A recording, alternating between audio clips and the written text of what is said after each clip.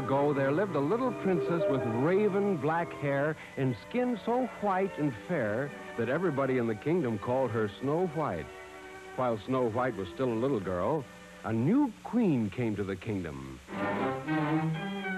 A cruel and haughty queen, so proud of her beauty, she would stand in the hall of mirrors and say, Tell me, mirror, I command, am I the fairest in the land? And the great mirror would answer, In all the land there's none so fair as you, O queen with golden hair. Years passed, and Snow White grew into a dazzling beauty. Then one day, when the queen asked, You there, mirror on the wall, who is the fairest one of all?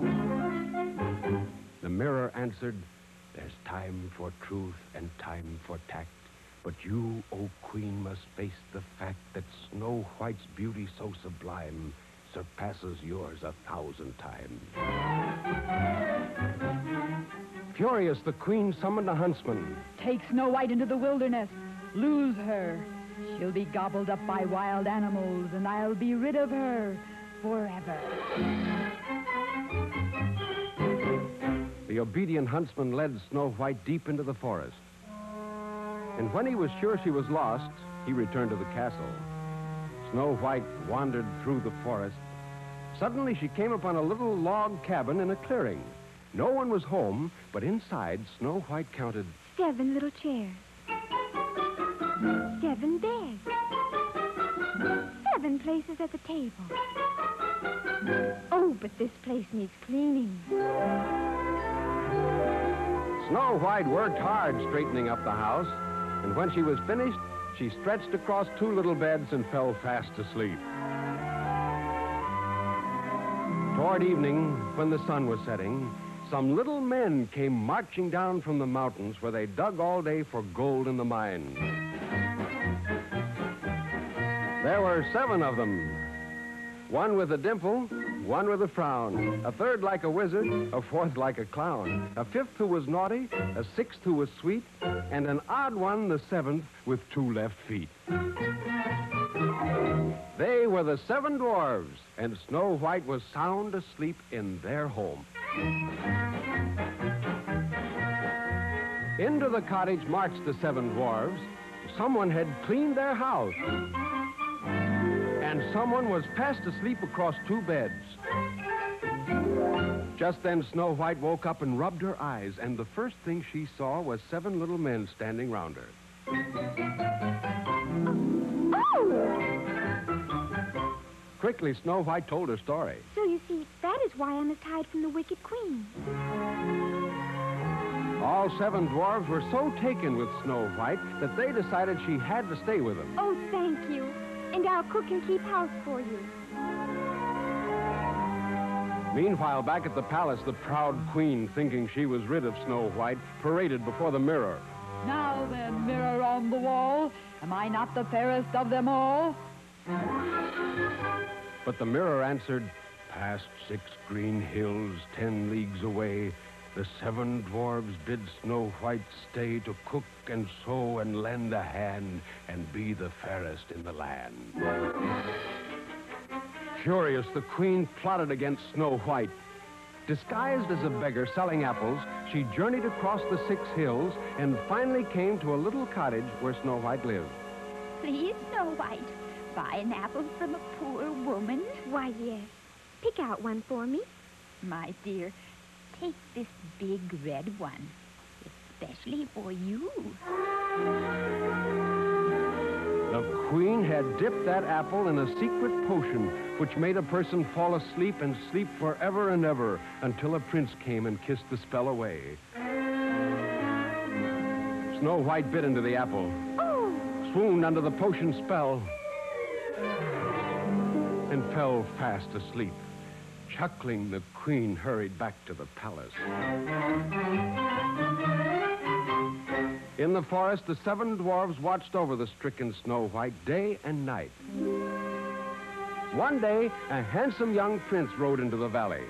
When he saw the sleeping Snow White, he was so overcome with love that he bent down and kissed her. Oh, I, am awake. For the kiss broke the spell.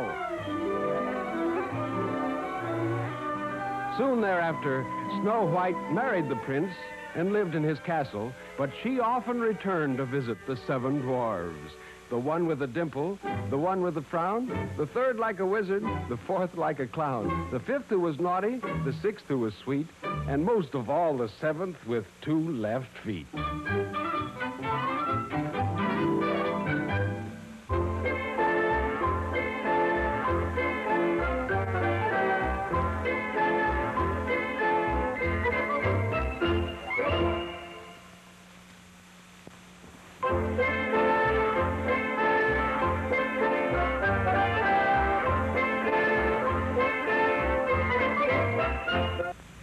One morning, Peter opened the gate and went out into the big green meadow.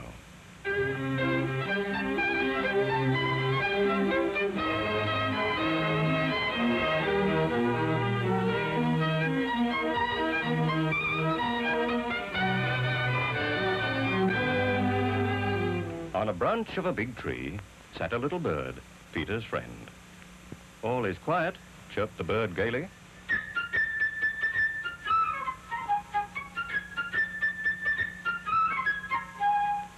Just then, a duck came waddling round. She was glad that Peter hadn't closed the gate and decided to take a nice swim in the deep pond in the meadow.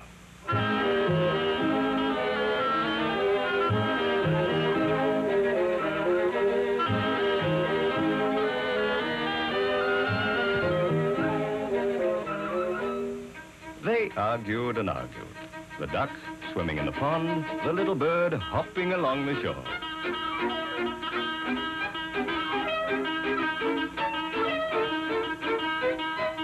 Suddenly, something caught Peter's attention.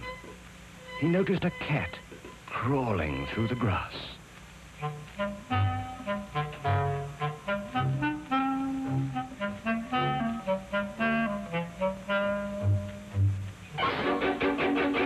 Oh, look out! shouted Peter, and the bird immediately flew up into the tree. While the duck quacked angrily at the cat, Grandfather came out. He was angry because Peter had gone into the meadow. It's a dangerous place. If a wolf should come out of the forest, then what would you do? Peter paid no attention to his grandfather's words. Boys like him are not afraid of wolves. But Grandfather took Peter by the hand, led him home, and locked the gate.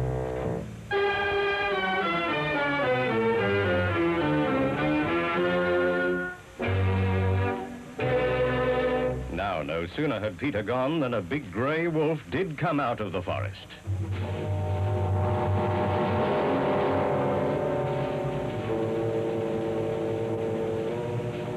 In a twinkling, the cat climbed up the tree. The duck quacked, and in her excitement, jumped out of the pond. But no matter how hard the duck tried to run, she couldn't escape the wolf. He was getting nearer, nearer, catching up with her.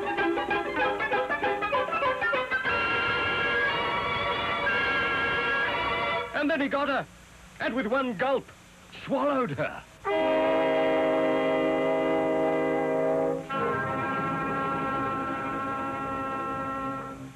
In the meantime, Peter, without the slightest fear, stood behind the closed gate, watching all that was going on.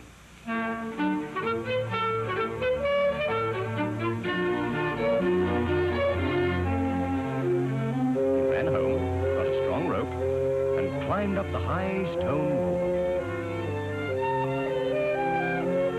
One of the branches of the tree round which the wolf was walking stretched out over the wall.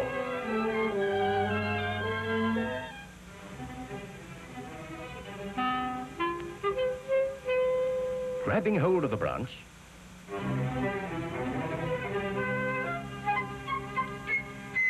Peter lightly climbed over onto the tree.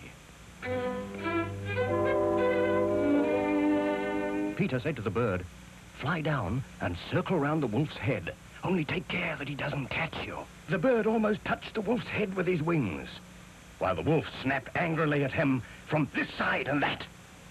How the bird worried the wolf, and how the wolf wanted to catch him. But the bird was clever, and the wolf simply couldn't do anything about it.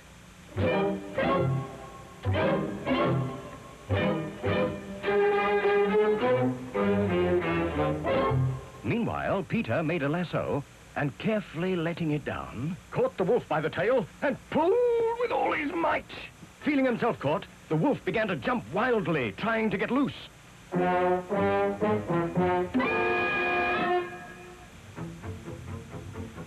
But Peter tied the other end of the rope to the tree.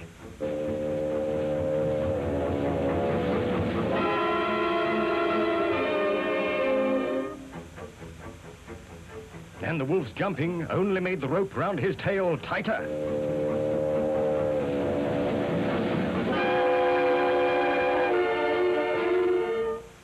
Just then, the hunters came out of the woods.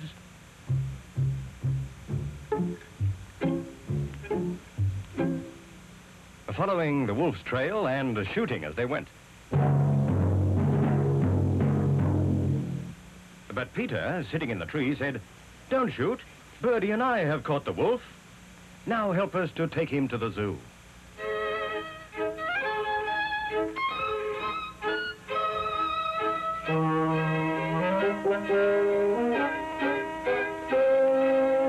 Imagine the triumphant procession. Peter at the head.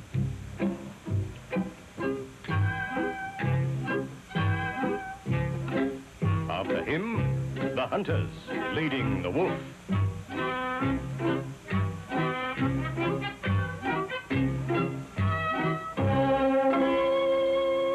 And winding up the procession, grandfather and the cat.